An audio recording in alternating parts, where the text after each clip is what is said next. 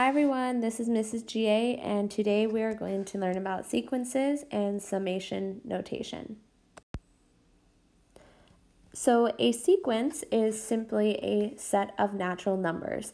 Um, it can be written in a few different ways. So it can be written as a formula for the nth term, which we'd call a sub n of the sequence. So it could be something like this. Here's an example of a sequence. So again, n I like to call like the place in line. So if n equals 1, it's the first term. If n equals 5, it's the fifth term. And then a sub n is the actual term. So a sub 5 would be the fifth term of your sequence. Um, you can also write the sequence as a list. So if I were to list out this sequence, right, the first term, 2 times 1 is 2, 2 times 2 is 4, 2 times 3 is 6. So I'm listing out the sequence um, in this way. So those are the different ways you might see a sequence written. So first we're going to practice um, finding the first five terms of a sequence, or you could find any term in the sequence if you have the formula. So let's, let's start with this first sequence. Um, it's a sub n equals n over n plus 1. So to find the first term, we would call it a sub 1. Again, that means the first term. And we're simply going to replace n with 1. So 1 over 1 plus 1 is 1 half. So that's the first term. And then we can do the same for a sub 2, right? So again, we're going to replace n with 2. So it would be 2 over 3. a sub 3 is 3 over 4. A sub 4, the fourth term, is 4 over 5. And a sub 5 would be 5 over 6. So we just found the first um, five terms of that sequence. Um, so why don't you pause the video and see if you can find the first five terms of this sequence. a sub n equals negative 1 to the power of n over 2 to the power of n. We'll check your answer in just a few seconds.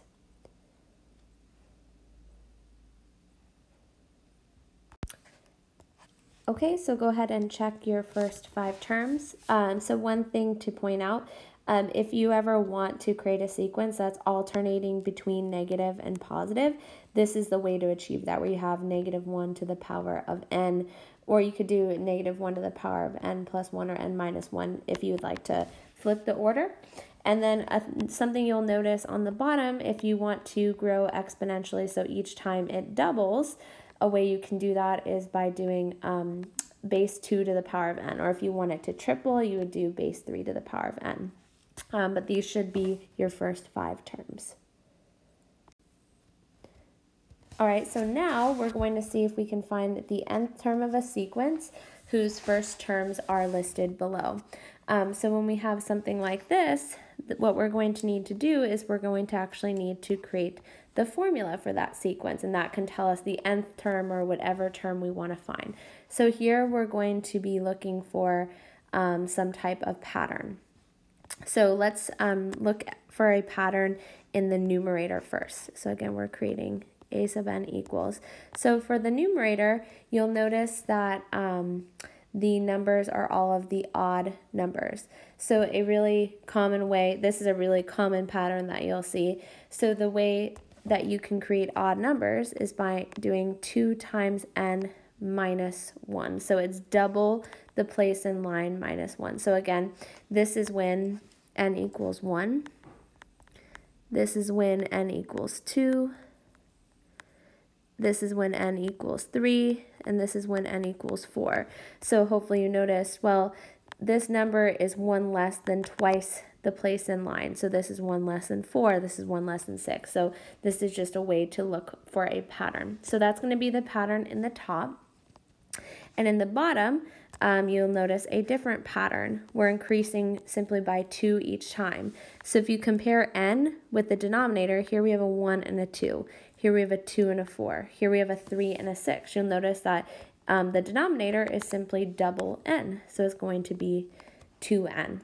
So this formula would tell us the nth place in line. So if I wanted to find the 75th term, I would just plug in 75 for n. So this can tell us any term in the sequence. So again, it's just a matter of looking for patterns and finding relationships between the numbers you see and the place in line, the n value. Okay, let's look at this next one. So here again, we see that alternating pattern between positive and negative, which we saw in that previous example. So we know that we can achieve that by doing negative 1 to the power of n. And again, this is when n equals 1, 2, 3, 4, 5, so on and so forth. So you can see when um, n is e when n is an odd number, right, you're going to maintain a negative value. But when n is an, even number, the negatives will cancel out and will become positive, which is what we want. And then we have to find a way to describe this doubling pattern. So remember when it's doubling, it's actually going to be an exponential type function. So since it's doubling, we're going to do base 2 to the power of n. Or maybe you notice this is 2 to the first power, this is 2 squared, this is 2 cubed, 2 to the fourth, 2 to the fifth. So again, just another pattern we're trying to recognize. And this can tell us the nth term of this sequence. Okay, so now we're going to talk about a different type or a different way to write sequences. These are called recursive sequences. So sometimes when we're working with sequences, it's easier to define um, each term in reference to one or more of the previous terms rather than to its place in line. Um, so there is a really famous recursive sequence that you've probably heard of before, the Fibonacci sequence. So here you can see I've listed out um, a few terms of the Fibonacci sequence. And the pattern of the Fibonacci sequence is if you add the two previous terms, so if I add up 1 plus 1, we get the next term, 2. And then if I add up 1 plus 2, we get the next term, 3. And if I add up 2 plus 3, we get the next term, 5. So you can see here that each term is actually defined by two of the previous terms. So the way that you would write this, since it's defined by two of the previous terms, we do need to actually list out what the first two terms are. So we'd say a sub 1 equals 1, a sub 2 equals 1. So we do have to state what the first two terms are. And then again, we know that the next term, so a sub n, is going to be the sum of the term right before it and the term 2 before it. So the term before n would be n minus 1. And the term 2 before n would be a sub n minus 2. So this is how you would write that Fibonacci sequence recursively. So again, notice that in my sequence, it's no longer in reference to n, it's in reference to a previous term, or in this case, two previous terms.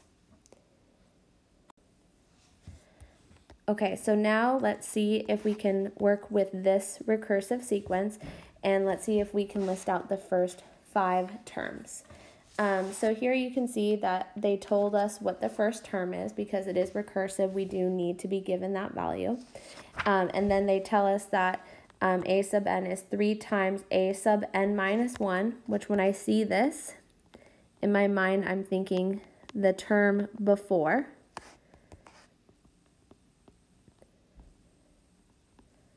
and then plus 2. So again, if I'm finding the fourth term, I have to use the third term.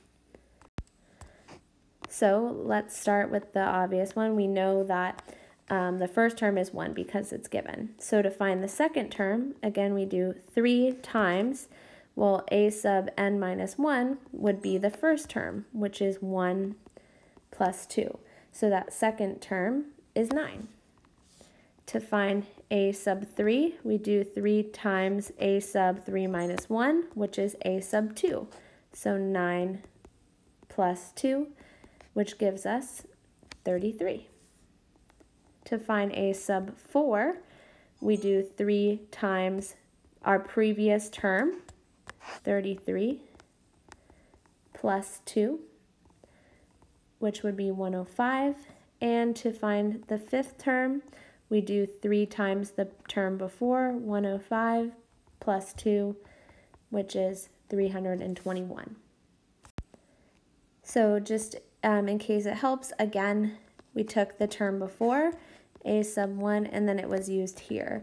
9 was used here, 33 was used here, and 105 was used here. So whenever you see a sub n minus 1, it means one term before. Okay, so the last thing we're going to talk about um, in today's video is what's called partial sums. So a partial sum is the sum of the first n terms of a sequence. So it's denoted in this way. So when you see s sub 1, it, we can read that as the first partial sum, and that is just the sum of the first one term. So it's simply the first term. When you see s sub 2, we can call it the second partial, partial sum, and it's the sum of the first two terms. The third partial sum, again, look here, is the sum of the first three terms. So you can kind of see the pattern here. The nth partial sum would be the sum of the first n terms. Um, so this is how you would denote it. And again, you're simply adding up the first um, however many number of terms in your sequence. Okay, so let's see if we can give this a try. Um, here, let's find the first four partial sums of a sub 1 equals 1 over 2 to the power of n. So the first partial sum is simply the first term. So 1 over 2 to the power of 1, which is 1 half. Um, the second partial sum would be the sum of the first two terms. So our first term is 1 half. Our second term, if you plug in n equals 2, would be 1 fourth. So that gives us 3 fourths. Our third partial sum would be the sum of the first three terms. So there's the first two. And our third term would be 1 over 2 to the uh, 2 cubed, which is 1 eighth. And then you add those up and you should get 7 eighths. And then the fourth partial sum would be the sum of the first four terms. So we already have the first three. The fourth term would be 1 over 2 to the power of 4 and that gives us 15 sixteenths. Um, so you'll see later on in this chapter there are some formulas that we'll learn to find um, the partial sums of specific types of sequences. Um, but of course, this is something when you know it's a smaller partial sum, you could always do it by hand.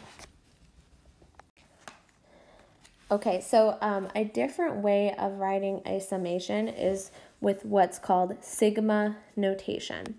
So this is the Greek letter sigma, which you'll see here in sigma notation, and it can be used to write a partial sum or it can be used to write the sum of terms k through n. So let's say you wanted to find the sum of the fourth through 12th terms. You can write that using sigma notation. So here's how it works. On the bottom, we have what's called the index. And um, a lot of textbooks use K, some use I, some use N. It doesn't really matter what um, what letter this is. Um, so here, this this number states what term we start with. So if they say k equals 1, it means start with the first term. If they say k equals 10, then you would start with the 10th term. The number on top is the number that the term that you will end with. So in this case, you're starting with the first term and you're ending with the fifth term. And then over here, you're going to actually write the sequence or the formula for the nth term. So notice that these two variables do match. Okay, so again, it's a way to describe a partial sum, or you can use it to describe the sum of, say, like the 12th through 15th term. Okay, so let's see if we can find each sum. Um, so this first one, notice here that we're starting with the first term and we're ending with the fifth term. And then the um, formula we're working with is k squared. So they want us to find the fifth partial sum, essentially. So they want us to do 1 squared plus 2 squared plus 3 squared plus 4 squared plus 5 squared. So those are the first five terms, and then you would add those up, and then you get 55. Okay, let's look at this next one. So here you can see that our index number is 5. So we're starting with the fifth term of our sequence and we're ending with the 10th term. So the 5th through 10th sum. And our sequence here is simply just i. So you're literally listing whatever this number is. So our fifth term is 5. Our sixth term is 6 plus 7 plus 8 plus 9 plus 10. So these are the fifth through 10th terms. And again, they would like us to find the summation of that. So you just add them up and it gives you 45. So again, this is just um, a different way of writing um, a summation. Okay, so now let's see if we can kind of work our way backwards. So here uh, we have a summation listed out and we're going to see if we can write it using sigma notation. So here, first we can look for the pattern. So the pattern you can see is the place in line cubed. So the first term is 1 cubed, the second term is 2 cubed. So we can call this k cubed.